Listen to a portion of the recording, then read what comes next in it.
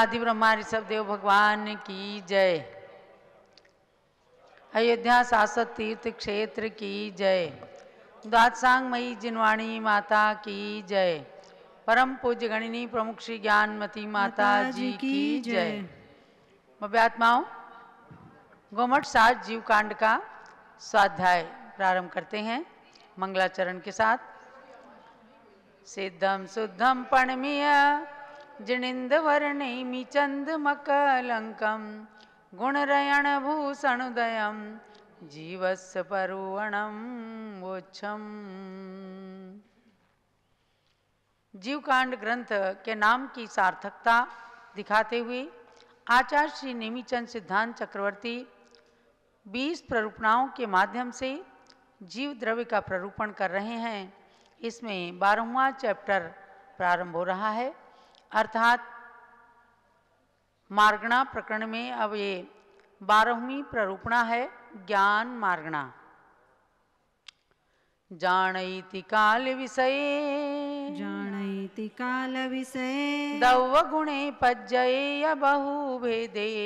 दव्यगुणे पज्जयेय बहुभेदे। पच्चखं च परोक्षं पचकं च परोक्षम् अणेन नाणं तिणं वेन्ति। अणेन नाणं तिणं बेन्ति सामूहिक गाथा पढ़िएगा। जाणैति काल विषये। दौवगुणे पज्जयेय बहुभेदे। पच्चखं च परोक्षम् अणेन नाणं तिणं वेन्ति। जानाति त्रिकालविषयान् द्रव्यगुणान् पर्यायांश्च बहुवेदान् प्रत्यक्षं च परोक्षम् अनेन ज्ञानमिति इदं ब्रुवन्ति। ज्ञान मार्गणा का शुभारंभ हुआ। इस गाथा के माध्यम से आचार्य देव कहते हैं कि जाणई तिकाल विषय। जो तीनों काल के विषयक सभी, तीन काल कौन से होते हैं?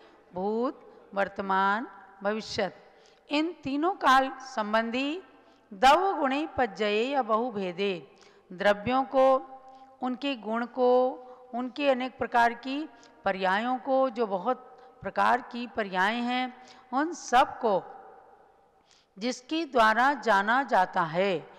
ये जीव जिसके द्वारा जानता है, उसको कहते हैं ज्ञान, ज्ञायते इति ज्ञानम। जिसके द्वारा जाना जाता है, वह ज्ञान कहलाता है पच्चखम च परोक्षम। और वह ज्ञान प्रत्यक्ष और परोक्ष, दो भेदों से समन्वित है। एक ज्ञान प्रत्यक्ष ज्ञान है और एक परोक्ष ज्ञान है। सामान्य से ज्ञान के दो भेद बताए। तो आपने इस माध्यम से जाना कि ज्ञान उसे कहते हैं कि जो तीनों कालों की भूत भविष्य वर्तमान, तीनों काल संबंधी सभी द्रव्य, उनके गुण, उनकी पर्यायों को जानता है, उसे ज्ञान कहते हैं। तो ये सामान्य से ज्ञान का लक्षण हुआ। यानी छह द्रव्य कौन कौन से हैं? जीव, पुद्गल, धर्म, अधर्म, आकाश और काल। और पाँच अस्तिकाएँ होते हैं, काल को छोड़कर, जीव, अजीव, धर्म, अधर्म, आकाश। ये पाँच जो हैं अस्तिकाय कहलाते हैं। आपने द्रव्य संग्रह में जाना है कि काल को अस्थिकाय संज्ञा नहीं है। और सात तत्व हैं, जीव, अजीव, आश्रव, बंध संवर निर्जरा और मोक्ष। और नौ पदार्थ होते हैं। सात तत्वों में पुण्य और पाप इन दो को मिलाने से नौ पदार्थ हो जाते हैं।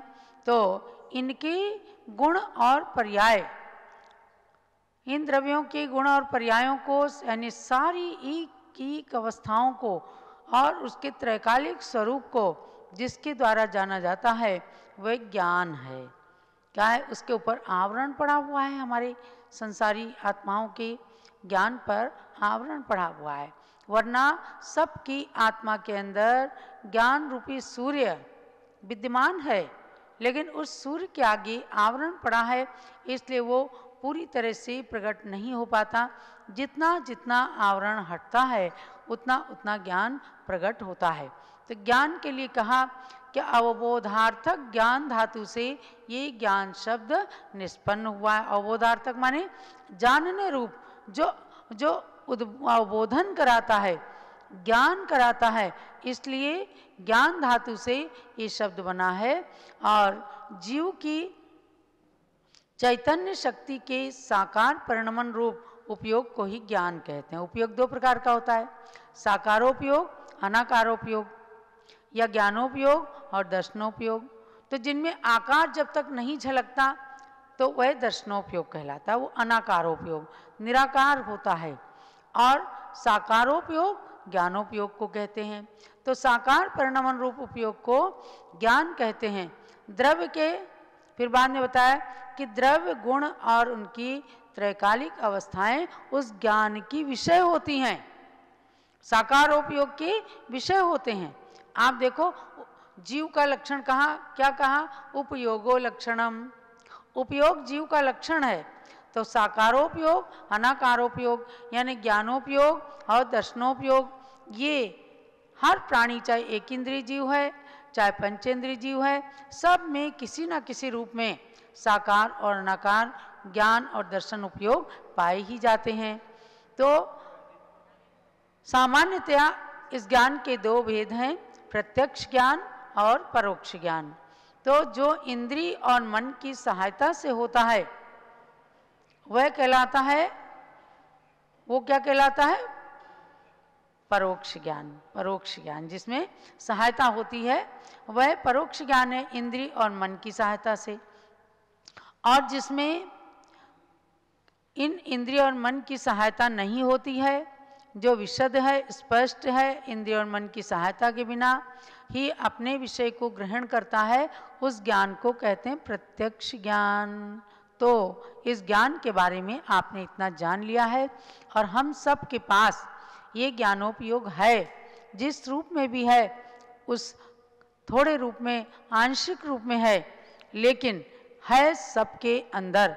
ये आपने ज्ञान मार्गणा का प्रारंभिक स्वरूप जाना है। आगे इनके भेदों के बारे में हम ज्ञान प्राप्त करते रहेंगे। अब हम चलते हैं आचार्य श्री शांति सागर महाराज के गुणानुवाद कार्यक्रम की ओर। भव्यात्माओं आज आचार्य शांति सागर महाराज के गुणानुवाद समारोह का पांचवा दिन है, पंचम दिवस है। सबसे पहले दिन हमने आपको आचार्य श्री के जन्मस्थल के दर्शन कराए। पुनः आचार्य श्री के एक एक चातुर्मास छुल्लक अवस्था का चातुर्मास, सन 1914 से कागल से शुरू हुआ। सन 1915 में कोगनोली में चातुर्मास किया। सन 1916 में कुंभोज के अंदर चातुर्मास किया और आज हम आए हैं सन 1917 सन 1917 में आचार्य महाराज का छुल्लक अवस्था का ही चतुर्थ चातुर्मास बेलगांव, कर्नाटक के अंदर होता है। और ये बेलगांव जो है हमने कर्नाटक लिखा है, किंतु कहते हैं कि बेलगांव, कोल्हापुर, रायबाग, होसुर, बेलगांव के अंतर्गत, यानी कि जो कोल्हापुर का भट्टारक जी का मठ है, उसके अंतर्गत इन गाँव के, इन नगरों के जिनाले आते हैं। स्वस्ति श्री लक्ष्मी सेन भट्टारक पट्टाचार्य महास्वामी की वहाँ धर्मपीठ है। जो भी भट्टारक जी रहते हैं, इन सभी गाँव के नगरों के, मंदिरों की देख रेख उनके मठ के अंतर्गत चलती है। और बेलगांव, कर्नाटक में तीन मंदिर हैं विशेष रूप से। कमल बस्ती में श्री नेमीनाथ भगवान का मंदिर है, जहाँ आचार्य श्री का सन 1917 का चातुर्मास हुआ। इसके अतिरिक्त श्री पार्शनाथ जिन मंदिर, दो मंदिर हैं, और श्री चंदा प्रभु भगवान का मंदिर है। इन मंदिरों के आप दर्शन कीजिए। पुनः हम वहाँ विराजमान प्रतिमाओं के लिए अर्घ्य समर्पित करेंगे। मंदिरों के दर्शन करके आप सब लोग को निश्चित रूप से महान प्रसन्नता की अनुभूति हो रही होगी।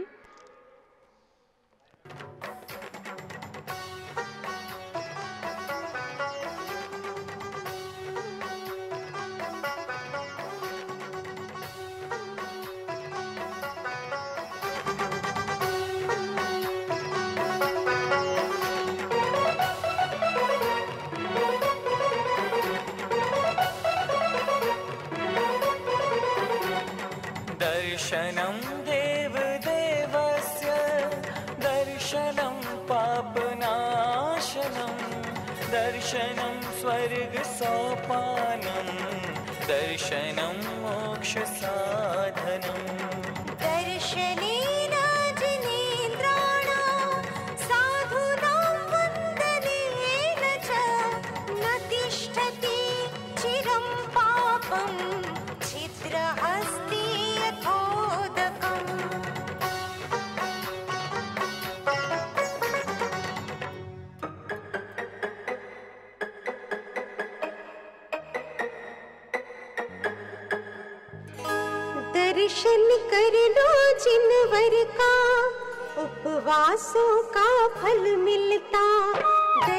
कर लो जिनवर का उपवासों का फल मिलता।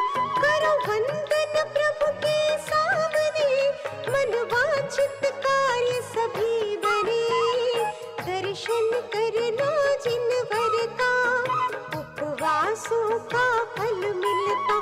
करो वंदन प्रभु के सामने। मन वांछित कार्य सभी दर्शन कर लो जिनवर का उपवासों का फल मिलता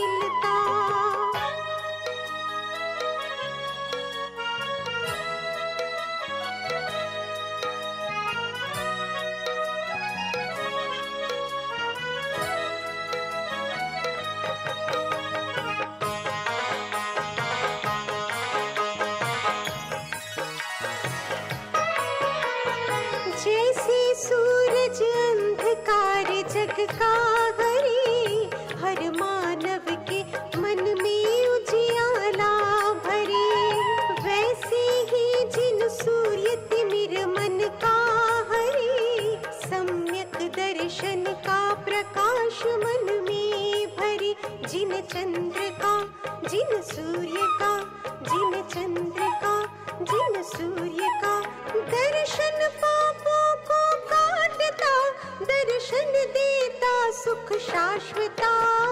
दर्शन कर लो जिन वर का, उपवासों का फल मिलता। दर्शन कर लो जिन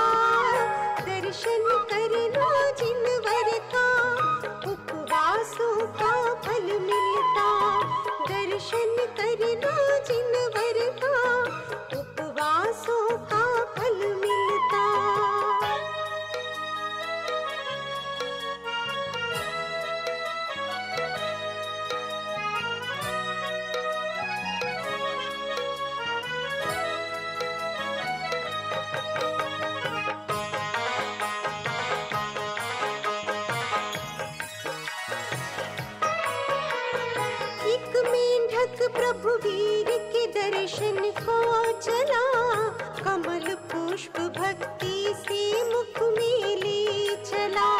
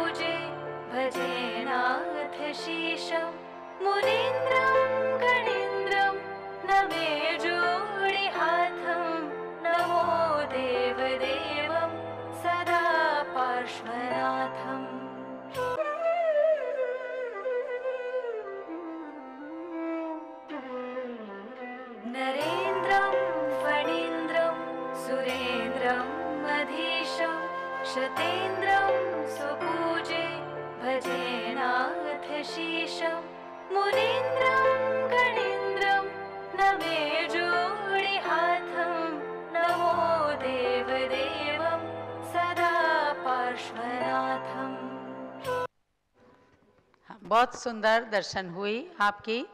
और अब इन भगवंतों की श्री चरणों में अर्घ चढ़ाइए। अष्टद्रव्य का अर्घ ले पूजूं प्रभु गुरुपाद। करूँ सफल निज जन्म में कर गुरु गुणानुवाद। चलिए अर्घ चढ़ाइए। ओम रीम। ओम रीम। आचार्य श्री शांति सागर महामुनिन्द्र से चतुर्थ चातुर्मास स्थल ख्रीष्टाब्दे 1916 तमे कर्नाटक प्रांत से बेलगांव नगरे श्री नेमिनाथ दिगंबर जिन मंदिरे विराजमान। मूल नायक श्री नेमिनाथ जिन प्रतिमा सहित समस्त जिन प्रतिमाभ्या अर्घ्यम निर्पामीति, स्वाहा। ओम ह्रीम श्री पार्श्वनाथ जिन मंदिरे विराजमान समस्त जिन प्रतिमाभ्या अर्घ्यम निर्पामीति, स्वाहा। ओम ह्रीम श्री चंद्रप्रभ जिन मंदिरे समस्त जिन प्रतिमाभ्या अर्घ्यम निर्पामीति, स्वाहा। जलो आचार्य श्री शांति सागर महाराज की जय। नेमिनाथ पार्शनाथ चंदा, प्रभु भगवान की जय। बेलगांव अतिशय क्षेत्र की जय। महानुभाव, अब आगे आइएगा।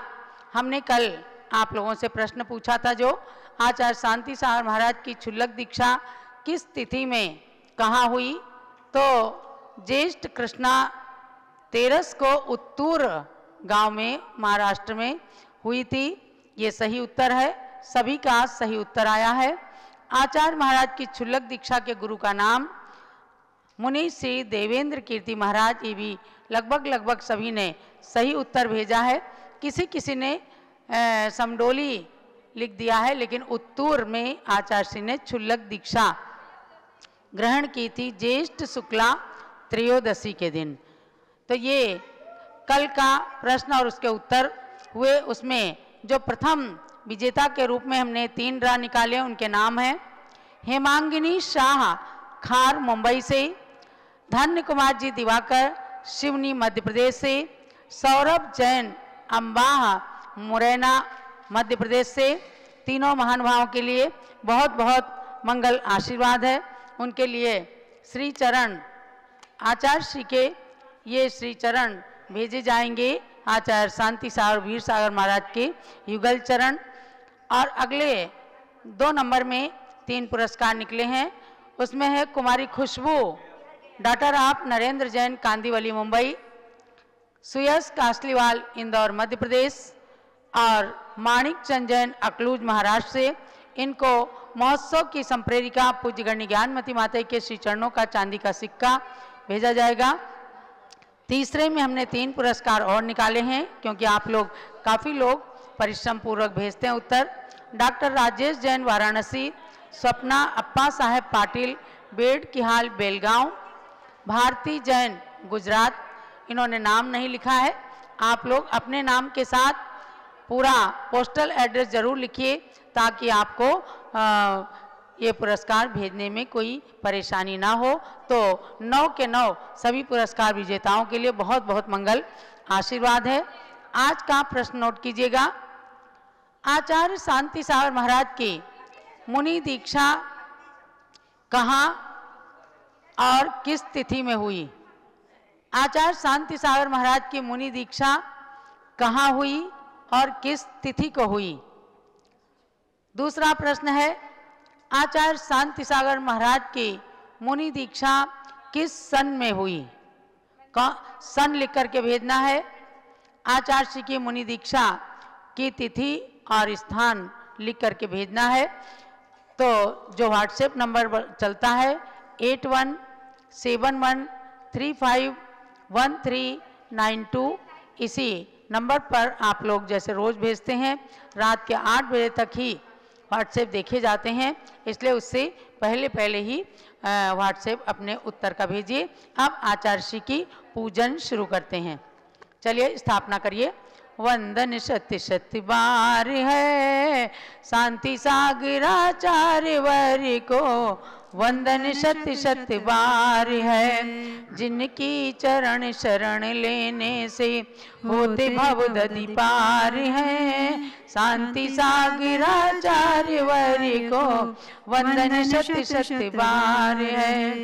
ओम ह्रीं चारि चक्रवर्ती नाचार्य श्री शांति सागराचार्य वरे। अत्र अवतर अवतर समुचटामाननम। अत्र तिष्ठि तिष्ठाटा स्थापनम। अत्र मम सन्नितो भवो सन्निधि गण स्थापनम ओम ह्रीं श्री शांति सागराचार्य जलम निर्पामीति स्वाहा। ओम ह्रीं श्री शांति सागराचार्य वर्या चंदनम निर्पामीति। स्वाहा। ओम ह्रीं श्री शांति सागराचार्य वर्या अक्षतम निर्पामीति। स्वाहा। ओम ह्रीं श्री शांति सागर मुनीन्द्राय पुष्पम निर्पामीति। स्वाहा। ओम ह्रीं श्री शांति सागराचार्य मुनीन्द्राय। नैवेद्यम निर्पामीति। स्वाहा। ओम आचार्य श्री शांति सागर महामुनीन्द्राय दीपम निर्पामीति। स्वाहा। ओम ह्रीं श्री आचार्य शांति सागर महामुनीन्द्राय धूपम निर्पामीति। स्वाहा। ओम ह्रीं श्री आचार्य शांति सागर महामुनीन्द्राय फलम निर्पामीति। स्वाहा। जल आदि के अर्घ्य बनाए रत्न मिलाऊं मैं गुरुवर के चरण चढ़ाए। गुणमणि पाऊँ मैं श्री शांति सागराचार्य पूजो भक्ति से चारित्र लब्धि को पाय छूटो भव दुख से ओम आचार्य शांति सा महामुनिंद्र अर्घ्यम निर्पामीति स्वाहा। शांति शांति धारा दिव्य पुष्पांजलि। शांति सागराचार्य गुरु मोक्ष मार्ग के रूप। गाऊं गुणमाला वे पाऊँ स्वात्म स्वरूप। सुंदर भक्ति कीजिए।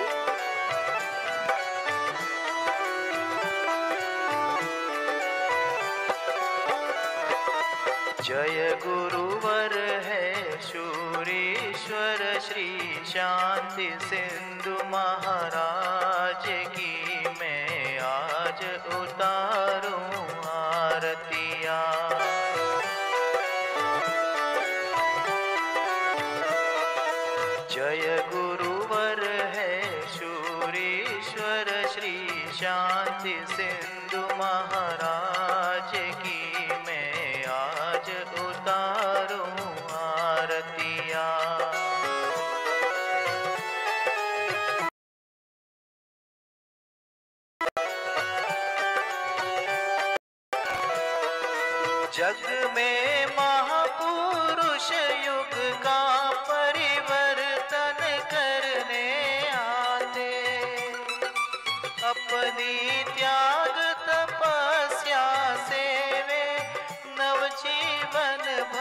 जाते गुरु जी नव जीवन भर जाते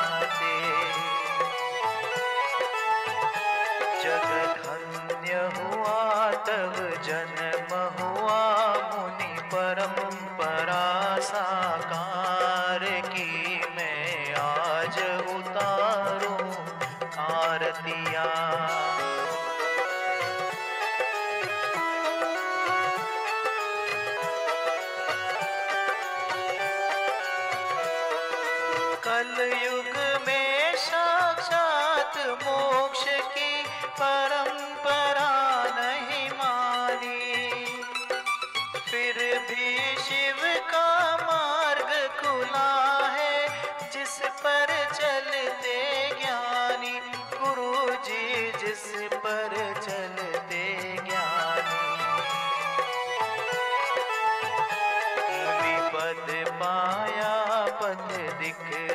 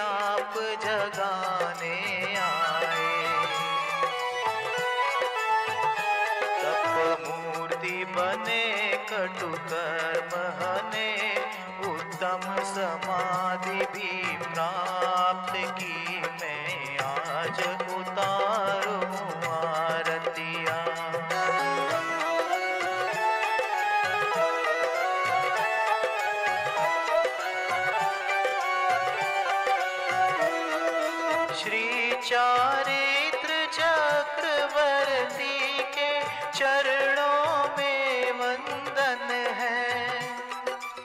अहि विष भी चंदना मती तब पास बना चंदन है। गुरु जी पास बना चंदन है।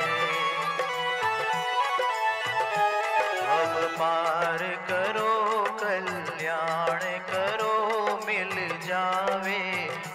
बोधि समाधि भी मैं आज उतारो आरतिया।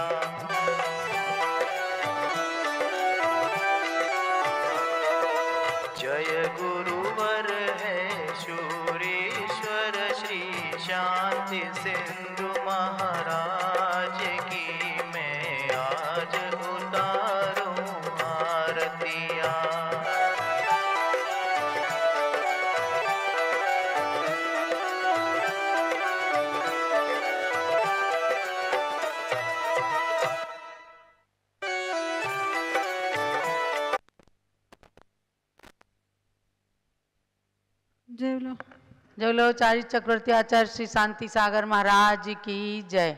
त्रिभुवन के भी पूज्य गुरु जिन मुद्रा से वंद्य नमो नमो नत शीस कर पाऊँ परमानंद।